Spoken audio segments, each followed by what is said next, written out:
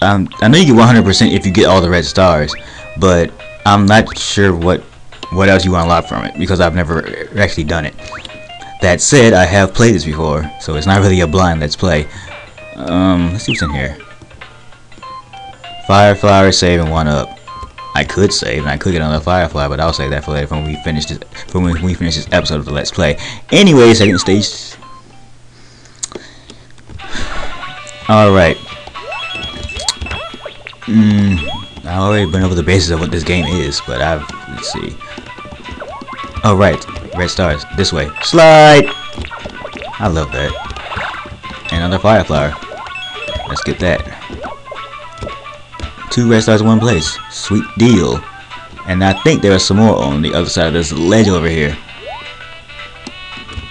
Yep, right through here. There's one right here, and another in here. Oh right, I I am aware that someone that someone other than myself has L, LP this before. I'm not sure what their name is, but I I do know that they're in, that they're involved in the Touhou in the in the community. But yeah, I think they they have LP this before, and I have watched it. So I guess in a sense I am sort of cheating on this because because he was doing a I think he was doing a an all red star run or something, and I sort of watched a few of his videos and I sort of know where most of the red stars are.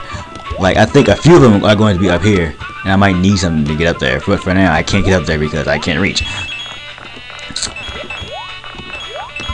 That said, I probably should have known where the, where the first stage red stars are, but yeah. What's this for? And I... Fuck. Yeah, fuck! I should have just left. I should have just like, went the hell on. That was bad.